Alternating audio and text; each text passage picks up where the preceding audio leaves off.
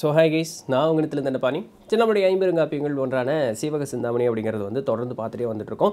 So முந்தைய பதிவில் என்ன பார்த்துருந்தோம் அப்படின்னு சொன்னால் காந்தர்வ தத்தை அதாவது தத்தை அப்படின்னு ஷார்ட்டாக சொல்லுவாங்க. ஸோ அந்த பெண் வந்து ஒரு வித்யாதர நாட்டினுடைய இளவரசி.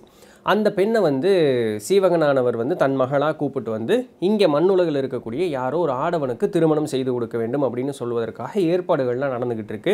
சும்மா அப்படி ரேண்டமாக ஏதோ ஒரு பையனுக்கு கட்டி வைக்க போகிறதில்ல ஒரு நிபந்தனையோடு தான் அது கட்டி வைக்க போகிறாங்க என்ன அப்படின்னு சொன்னால் தத்தை அப்படின்னு சொல்லக்கூடிய அந்த ஒரு பெண் வந்து யாழ் மீட்டுவதில் வந்து மிகுந்த ஒரு திறமைசாலி. ஸோ எந்த ஒரு ஆடவன் அவளை யாழ் மீட்டுவதில் தோற்கடிக்கிறானோ அவளுக்கே தத்தையை திருமணம் செய்து வைப்பது அப்படிங்கிறது தான் அதில் இருக்கக்கூடிய நிபந்தனை. ஸோ அந்த நாட்டினுடைய அரசனான கட்டியங்காரன் கிட்ட போய் பெர்மிஷன் வாங்கியாச்சு. பெர்மிஷன் கிடச்சிருச்சு. அந்த நகர்லேயே வந்து எல்லாரும் வாய் விளக்கக்கூடிய அளவுக்கு ஏதோ தேவலோகமே கீழே வந்தார் போல இருக்கக்கூடிய மிகுந்த ஒரு பெரிய ஒரு மேடையும் அமைச்சாச்சு. அந்த மேடையை அமைச்சதற்கு பிறகு இந்த மாதிரி போட்டி நடக்குது அப்படிங்கிறத சொல்லணும் இல்லையா? அதை சொல்லுவதற்காக முரசர் உச்சாச்சு முரசை கேட்டு அரசர் உட்பட மற்ற எல்லா குலத்தவர்களும் வந்து இந்த போட்டியில் கலந்து கொள்வதற்காக அந்த இடத்திற்கும் வந்து சேர்ந்து விட்டார்கள். இப்போ தத்தையை வந்து அந்த இடத்துல இருந்து அந்த மண்டபத்திற்கு கூப்பிட்டு வரணும். ஸோ இது இது வரைக்கும் போன பதிவில் இது வரைக்கும் எல்லாத்தையுமே பார்த்துருந்தோம். இன்றைக்கி என்ன பார்க்க போகிறோம் இப்போ அப்படின்னு சொன்னால் மூணு பாட்டு. தத்தை வந்து எந்த அளவுக்கு அழகாக இருக்கா அந்த தத்தையை பார்த்து எப்படியெல்லாம் ஆடவர்கள் மயங்கி இருக்கக்கூடிய இருக்கிறார்கள் அப்படிங்கிறது ஒன்று அது ஒன்று விளக்கங்கள் பார்த்துருவோம். அடுத்தது வந்து அந்த போட்டி நடக்குது. போட்டி நடக்கும் பொழுது என்னாச்சு அப்படிங்கிறத பார்க்கலாம். பிறகு நம்மளுடைய பாட்டுடை தலைவன் ஸோ ஹீரோ அவர் வந்து சீவகனுடைய என்ட்ரி இன்னும் போட்டிக்கு அவர் வரல. வர்றதுக்கு முன்னாடியே அவருக்கு ஒரு ஆபத்து அப்படிங்கிறதும் வருது. ஸோ அது என்னென்ன அப்படிங்கிறது எல்லாத்தையுமே இன்றைக்கி வீடியோவில் பார்த்தலாம் ஓகே ஸோ இப்போ வந்து தத்தையை கூப்பிட்டு வராங்க. கூப்பிட்டு வரும்பொழுது எப்போவுமே அந்த பொண்ணு வட நீ போமா அப்படின்னா அனுப்பி விட போகிறாங்க ஆப்வியஸ்லி இல்லை. ஸோ ஒரு பெரிய புடை சூழ கூப்பிட்டு வராங்க. யார் யாரெல்லாம் எப்படியெல்லாம் வந்து இந்த பெண்ணை கூப்பிட்டு வர்றதுக்கு ஒரு அலங்காரமாக கூப்பிட்டு வராங்க அப்படின்னு பாருங்களேன். இந்த மேலே போட்ட மாலை வந்து இப்படி நல்லா ஆடுதான். அந்த மேலே போட்ட மாலை. அந்த மேலே இப்படி குறுக்கில் போட்டிருக்க துணி வந்து அந்த தோளில் இருக்கிற அந்த து துணி வந்து அப்படியே கீழே சரிஞ்சு விழுகிறத கூட ஒரு பெரிய பொருட்டாக எடுத்துக்காம நல்லா அப்படியே தேர் எப்படி ஆ கம்பீரமாக ஆஜான போகவா நடந்து வரும் தெரியுமா?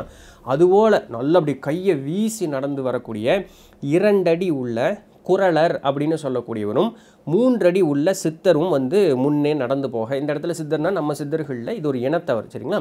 மூன்றடி உள்ள சித்தரும் அந்த இடத்துல அப்படி நடந்து போக நல்ல தலையில் சுருட்டு சுருட்டையாக அழகாக முடி இருக்கக்கூடிய பரத்தையரும் வந்து வர வாறு வாறுனா வந்து தோல்னால் தோல்னால் அந்த வாறுனால் இறுக்கி கட்டிய முளையும் நல்ல வெண் பட்டுனால் வந்து இடுப்பில் அந்த அல்குலை மறைக்கக்கூடிய அந்த இடுப்பு துணியும் கட்டி இருக்கக்கூடிய வாளும் வில்லும் நல்ல அம்புராத்தோணி நிறக்க அம்புகளை வந்து ஏந்தி கையில் வந்து ஒரு வில்லையும் ஏந்தி கூட வந்து வாளையும் வைத்திருக்கக்கூடிய ஆயிரத்தி எட்டு பெண்கள் அந்த தத்தைக்கு முன்னாடி அப்படியே நடந்து போக நல்ல அழகாக அதே போல் நல்ல இறுக்கி கட்டிய அந்த ஒரு அந்த கச்சையில் நல்ல இறுக்கி கட்டிய மு முளையும் நல்ல கையில் வந்து வாழும் கேடயமும் உள்ள அம்பு போல துரிதமாக போகக்கூடிய அளவுக்கு நல்ல கம்ஃபர்டபுளாக இருக்க ஏற்ற மாதிரி ஆண் உடை பூண்ட பெண்களும் அதாவது பாதுகாப்புக்கு உண்டான பெண்களும் அந்த தத்தை முன்னாடி தத்தையை வணங்கி அவர்கள் முன்னாடி போக இப்படி இவங்களுக்கு நடுவில் சென்டராக வந்து அந்த பொண்ணு அப்படி ஜம்முன்னு கா- கம்பீரமாக அந்த பொண்ணு அப்படி நடந்து வருது.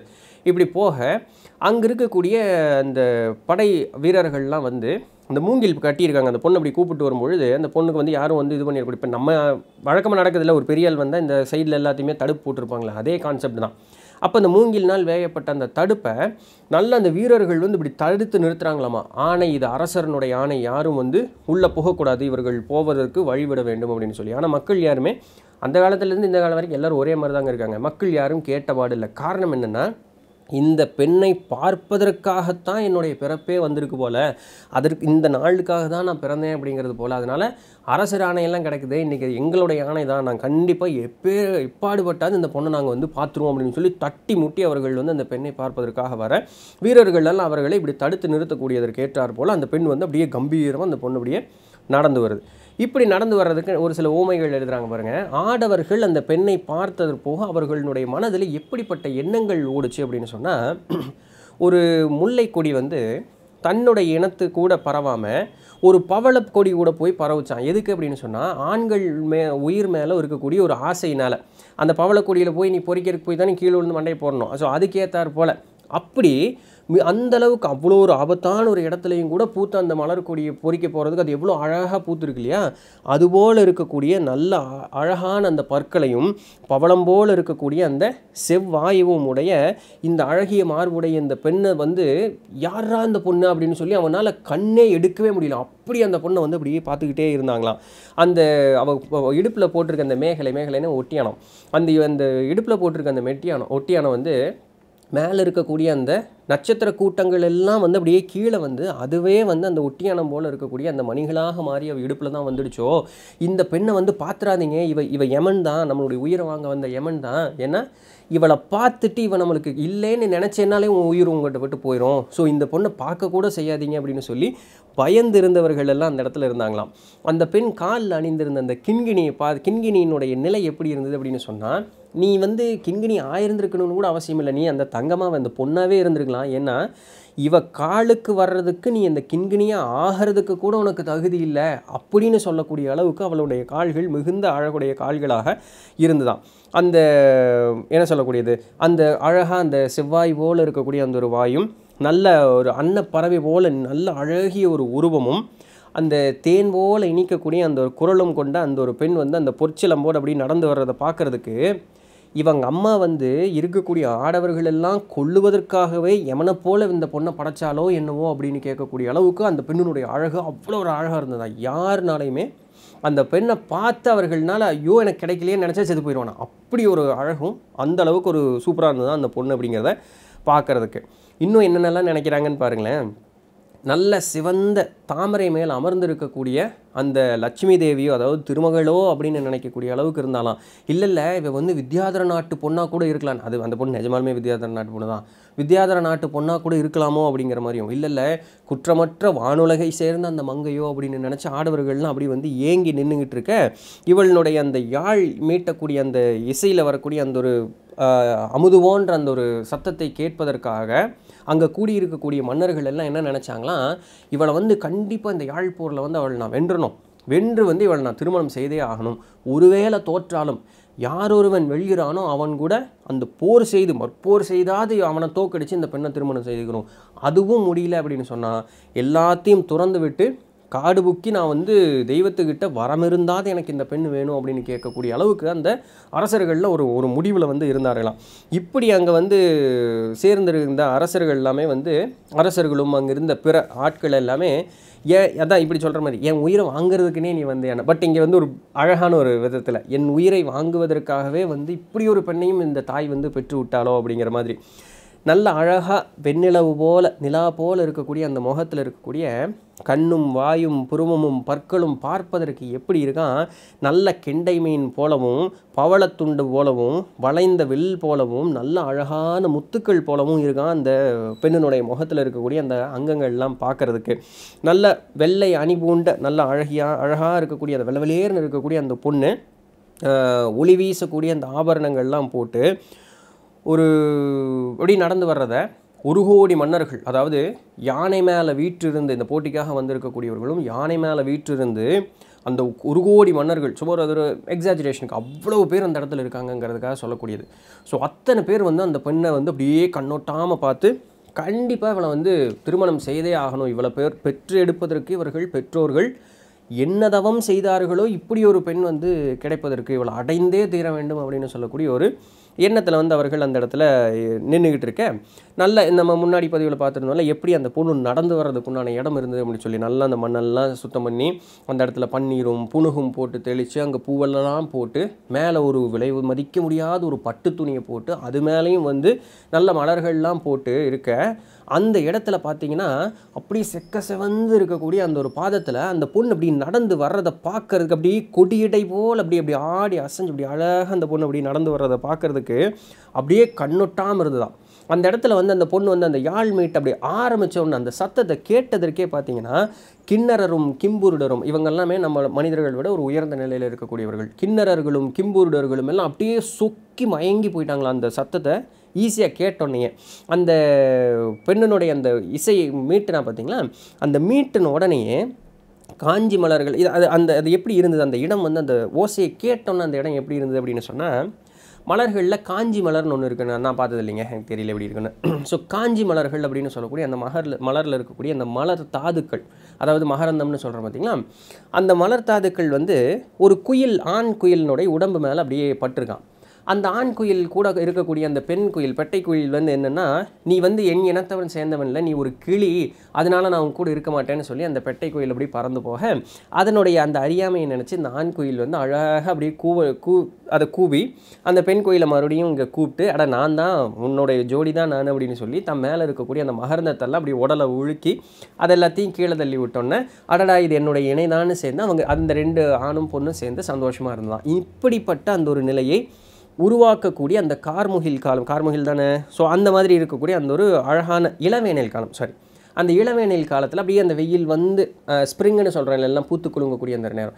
அந்த இளவேனில் காலத்தில் அது எப்படி சந்தோஷமாக இருக்கும். அந்த பொண்ணு அந்த யாழ் மீட்டணுன்னு அந்த இடமே அந்த மாதிரி தான் இருந்தான். அப்படி எல்லாருமே சூப்பராக இருக்கியா அப்படின்னு சொல்லக்கூடியதற்கு ஏற்ற மாதிரி அந்த இடம் பார்க்கறதுக்கு இருந்துதான். அந்த யாழ் மீட்ட ஆரம்பித்து அங்கே அவை அவை அடக்கம் அப்படின்னு சொல்லுவாங்க. அப்படின்னா என்னென்னா நம்ம ஒரு இடத்துக்கு வந்திருக்கோம். நம்மளை பார்க்குறது இத்தனை பேர் வந்திருக்காங்க. அப்போ எல்லாரும் பார்க்கறதுக்கு வந்ததுக்கு அவங்களுக்கு மரியாதை செ செலுத்தணும் இல்லையா? ஸோ அதற்காக தான் அந்த பெண் யாழ் மீட்டுறா இன்னும் போட்டி நடக்கலை. அவையடக்கம் பாடி அந்த யாழ் மீட்டினோடனே அந்த பெண்ணினுடைய தோழியான யார்? வீணாபதி அப்படின்னு சொல்லக்கூடிய அந்த தோழி வந்து முன் வர்றா. முன் வந்தோடனே எல்லாத்துக்கிட்டையும் சொல்கிறா அதாவது அங்கே இருக்கக்கூடிய போட்டியாளர்கள் அத்தனை பேர்த்துக்கிட்டையுமே அர மன்னர் உட்பட இதர போட்டியாளர்கள் எல்லாத்துட்டையுமே சொல்கிறா என்ன அப்படின்னு சொன்னால் இந்த போட்டிக்கு ஒரே நிபந்தனை தான். தத்தை வந்து யாழ் மீட்டி பாடுவாள் அந்த பாட்டிற்கு ஏற்றாறு போல் இங்கே இருக்கக்கூடிய போட்டியாளர்கள் அரசர்கள் தான் முதல்ல இருப்பாங்க. ஸோ இந்த அரசர்கள் வந்து யாழ் மீட்டணும் ஒருவேளை உங்களுக்கு யாழ் மீட்ட முடியல யாழ் மீட்ட தெரியலேன்னு சொன்னால் அவள் பாட்டிற்கு ஒப்பாக பாட்டாவது நீங்கள் பாடிடணும் இவ்வளோதான் இது இது முடியலன்னா நீங்கள் தோற்றதாக அர்த்தம். அவ்வளோதான் இவ்வளோ தான் கண்டிஷன் வேறு எதுவுமே கிடையாது. இப்போ இதை சொல்லி அந்த வீணாபதி இங்கே வந்து நின்று சொல்லி உள்ளே போகிறதுக்குள்ளே இப்போ இந்த வீணாபதியை பார்த்தோன்னு எல்லோரும் பேன் ஆகிட்டாங்களாம் ஏன்னா பேடின்னா பெண்ணுன்னு அர்த்தம். சரிங்களா? இந்த தத்தை கூட ஒரு பேடி வந்ததாக சொன்னாங்களே ஸோ அந்த பொண்ணு தானா இது? அப்படிங்கிற மாதிரி ஆயிட்டாங்களா? என்னடா அது என்ன இந்த பொண்ணு இவ்வளோ அழகாக இருக்குது அப்படின்னு சொல்லிட்டு அவளுடைய அப்படியே மெலிந்த அந்த தோள்கள் வந்து ஏதோ பார்க்கறதுக்கு வந்து அது மூங்கில் தானா அப்படிங்கிற அளவுக்கு அந்த தோள்கள் வந்து அப்படியே மெல் அவ்வளோ மெல்லிசா அழகாக ஒரு வடிவமாக இருந்ததான் பார்க்கறதுக்கு. நல்ல அவர்களுடைய அந்த வளைந்த புருவம் வந்து நம்மை கொல்லக்கூடிய வில்லுதானோ அந்த புருவம் அப்படிங்கிற மாதிரியும் நல்ல அழகான அந்த வாய் வந்து பவளந்தான அந்த அழகான அந்த ஒரு வாய் யாருடா இந்த பொண்ணு? அப்படிங்கிற மாதிரி. தத்தைக்கு வந்து எல்லாரும் அப்படியே மயங்கி நிற்க தத்தையினுடைய தோழியே வந்து அந்த அளவுக்கு அழகாக இருக்கலாம். அங்கே இருக்கக்கூடிய மன்னர்கள் எல்லாம் இதை சொல்ல வந்து அந்த தத்தையை பார்த்து ஒரு செகண்ட் ஆக மொத்தம் ஆம்பளை வந்து எந்த பிள்ளையை பார்த்து பேன் இல்லாமல் இல்லவே இல்லை. யாரை பார்த்தாலும் பேனு தான் இருக்கிறாங்க. இது இது மேனுஃபேக்சரிங் டிஃபெக்ட்னு நினைக்கிறேன். நினைக்கிறதுக்குள்ள இல்லை அது உண்மை தான் பட் எனிவே ஸோ இப்படிப்பட்ட ஒரு இதில் இருக்க அந்த பொண்ணுக்கு ஒரு பெரிய இது இந்த மாதிரி நிறைய விஷயத்த சொல்லி அந்த பொண்ணு பயங்கர அழகாக சொல்கிறாங்க ஸோ இதெல்லாம் சொல்லிவிட்டு இவங்க என்ன பண்ணுறாங்கன்னா திருப்பி உள்ளே போயிடுறாங்க. இது அந்த பெண்ணுக்கு உண்டான அந்த மேடை இருக்குது பார்த்தீங்களா? பவளத்து இது சாரி பளிங்குனால் ஆன மேடை. அதாவது அங்கே ஒரு ஒருத்தங்க இருக்காங்கன்னு தெரியும். பட் யார் என்ன அப்படிங்கிறது அவ்வளோ கிளாரிட்டியாக தெரியாது. ஸோ அந்த மாதிரி தன்னை மறைத்திருப்பதற்குண்டாக அந்த பளிங்கு போல் இருக்கக்கூடிய அந்த அறைக்குள்ளே போய் அந்த அந்த மண்டபத்தில் தான் அந்த அறை இருக்குது அதுக்குள்ளே போய் அந்த பொண்ணு உட்காந்துக்கிறா சவுண்டு மட்டும் வரும் எல்லாமே ஓகே சரிங்களா? அது மட்டும் வரும் அதுக்கேற்ற மாதிரி நம்ம இது பண்ணிக்கலாம். ஜெயிச்சதுக்கப்புறம் அந்த பொண்ணை பார்க்கலாம் மாலை போட்டுக்குவாங்க திருமணம் நடக்கும். இப்படி தான் நடக்கும்.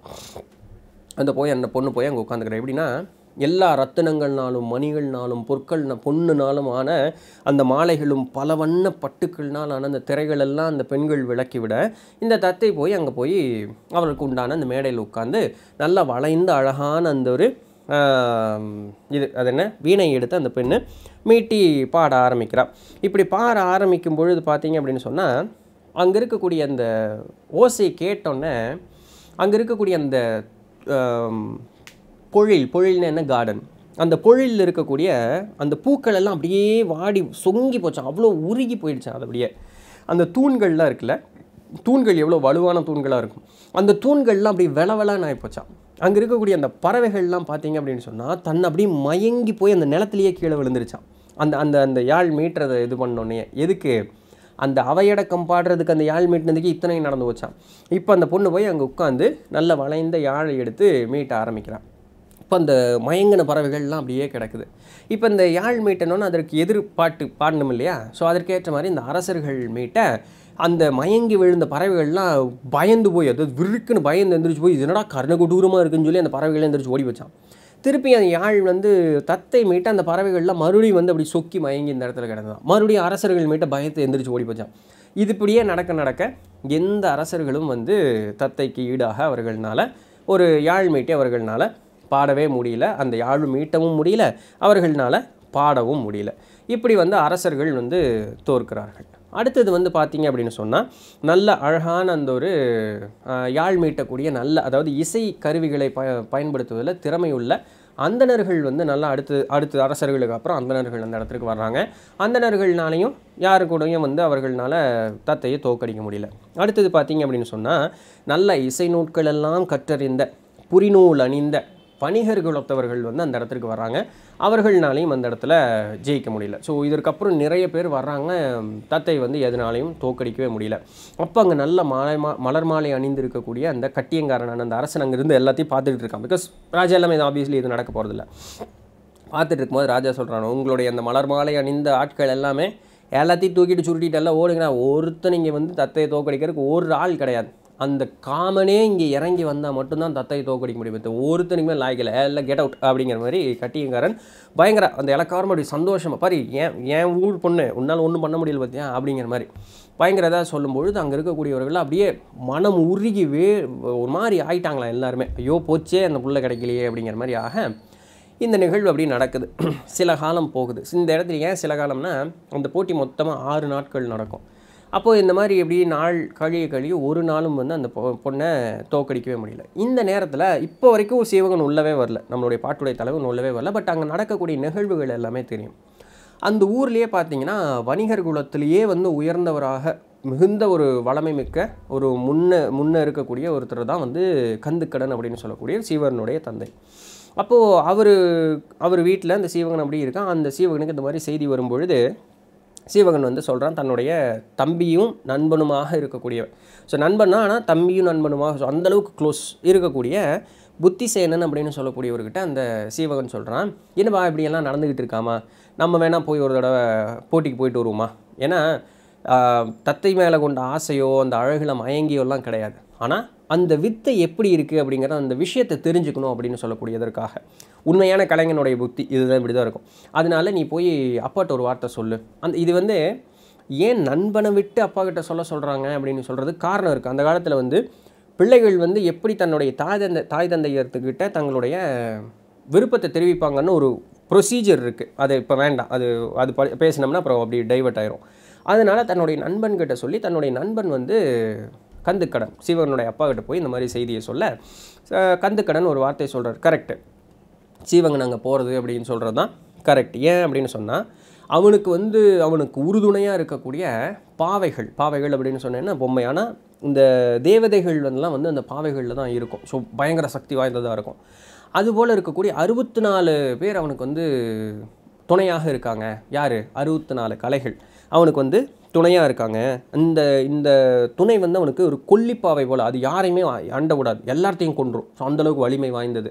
இந்த அறுபத்தி நாலு பேரும் ஒரு கொல்லிப்பாவை போல் அவனை எல்லா நேரத்துலையும் பாதுகாத்து அவன் அவனை வந்து எப்போவுமே அந்த வெற்றிக்காகவே அவனை இருக்க வைக்கக்கூடிய அளவுக்கு இருக்கக்கூடியவங்க. இவனுக்கு எல்லா திறமைகளும் இருக்குது இவன் தான் அந்த போட்டிக்கு போவதற்குண்டான சரியான ஆள் அப்படின்னு சொல்லிட்டும் அடுத்த ஒரு வார்த்தையும் புத்திசேனன்கிட்ட ஒரு வார்த்தை சேர்த்தும் சொல்கிறார் என்ன அப்படின்னு சொன்னால் நான் அதை சொல்கிறேன் கவனமாக கேளு அப்படின்னு சொல்லிவிட்டு ஒரு அரசவையிலிருந்து ஒரு பெண் வந்து ஒரு நாள் வெளியே வந்து இது வந்து கந்துக்கடனுக்கு நடந்த ஒரு விஷயம். இப்போ வரைக்கும் சீவகனுக்கு தெரியாது. சின்ஸ் சீவகன் அங்கே போகிறான் அப்படின்னு சொல்லும்போது பிகாஸ் அது பப்ளிக் அரினா இப்போது ராஜா வந்து அந்த இடத்துக்கு வருவான் அங்கே நடக்கிற எல்லா நாளையுமே ராஜா பார்த்துட்டு இருப்பான். இப்போ வரைக்கும் சீவகன் போல் அதனால் எந்த இஷ்யூஸும் இல்லை. ஆனால் ஏற்கனவே அந்த பசு கூட்டங்களை கவர்ந்து வந்து கவர்ந்து சென்ற வேடர்கள்ட்டிருந்து சீவகன் காப்பாற்றிட்டு வந்ததுக்கே அந்த ராஜாவான கட்டிங்காரனுக்கு சீவகன் மேலே ஒரு கடுப்பு இருந்துக்கிட்டே தான் இருந்தது. இப்போ மறுபடியும் இந்த இடத்துல சீவகன் போகும்பொழுது ஏதாவது ஆகுமான்னு பார்க்கும்பொழுது முன் நடந்த ஒரு விஷயத்தையும் சொல்லி இது சொல்கிறார் என்னென்னா இவர் இவரை பார்க்கறதுக்கு அரசவையிலிருந்து ஒரு பெண் வரலாம். நல்ல அழகிய நீண்ட ம- வளைந்த ஒரு நிலா போல் இருக்கக்கூடிய நல்ல அகன்ற நெத்தி உடைய ஒரு பெண். எல்லா பொருளையும் பயங்கர ஒரு வர்ணனை தான். அப்போது அந்த பெண் வந்து அரண்மனை விட்டு இப்படி வெளியே வந்தா. வெளியே வந்து அவள் தலையில் சூடி இருக்கக்கூடிய மலரை வந்து என் கையில் கொடுத்தா அந்த பெண்ணுடைய பேர் என்னென்னா நாகமாலை அப்படிங்கிறது அந்த பெண்ணுடைய பேர். அப்போது இது தலையில் சூடிய பெண் தான் அது மலர் தானே அப்படின்னு சொல்லி ஏளனமாக எடுத்துக்காமல் அவள் குறிப்பு காட்டுறதுக்காக அந்த மலர் அப்படிங்கிறத வந்து கொடுத்தா அப்படிங்கிறத புரிஞ்சுக்கிட்டு அந்த மலருக்குள்ளேருந்து பார்த்தோம் அப்படின்னு சொன்னால் ஒரு சின்ன ஓலை ஒன்று இருக்கும். ஒரு குறுஞ்செய்தி எழுதுன ஒரு ஓலை இருக்கும். அந்த ஓலை எடுத்து படித்து பார்க்கும் பொழுது அதில் என்ன எழுதியிருந்தது அப்படின்னு சொன்னால் சீவகனை வந்து நகரத்திலிருந்து ஒரு பா நீக்கி கொஞ்சம் பாதுகாப்பான இடத்துல கொண்டு போய் வைங்க. தீ போல் எப்படி சிவபெருமான் எப்படி தீக்கணல் போல் இருப்பார்னு சொல்கிறோம் அந்த மாதிரி இங்கே இருக்கக்கூடிய ருத்ரமூர்த்தி போல அப்படின்ட்டு. கட்டியங்காரன் வந்து சீவகனை கொல்லணும் அப்படின்னு சொல்லி கொதித்து எழுந்து கொண்டு இருக்கான். இந்த வார்த்தையை இப்போவே எங்கிட்ட சொன்னால் நான் அதை தான் அப்படியே எழுதி உங்ககிட்ட வந்து உடனே கொடுக்குறேன். அதனால சீவகனை பாதுகாப்பாக வையுங்கள் அப்படின்னு சொல்லி அந்த ஓலையில் எழுதியிருந்தது அப்படின்னு சொல்லி புத்திசேனன்கிட்ட கந்துக்கடன் சொல்லிட்டு இன்னொரு அடிஷ்னலாக ஒரு விஷயம் அது முன்னே நடந்த ஒரு விஷயத்தையும் சொல்கிறார் ஸோ இது எதுவுமே சீவகனுக்கு இப்போ வரைக்கும் தெரியாது. சின்ஸ் இந்த மேட்ரு வெளியே வரும்பொழுது புத்திசேனன்கிட்ட புத்திசேனன் கந்துக்கடன் சொல்ல ஆரம்பிக்கிறார். இந்த பகை ஆ அந்த பசுக்களை கவர்ந்து வந்ததுக்குள்ள அதுக்கு முன்னாடி இருந்தே இருக்குது ஸோ அது என்ன அப்படிங்கிறது எல்லாமே நாளைக்கு வீடியோவில் பார்க்கலாம். ரைட் ஸோ இப்போ ஆக மொத்தம் சீவகனுக்கு வந்து ஒரு பெரும் ஆபத்து அப்படிங்கிறது அந்த நாட்டினுடைய அரசர்கிட்ட இருந்தே வரப்போகுது.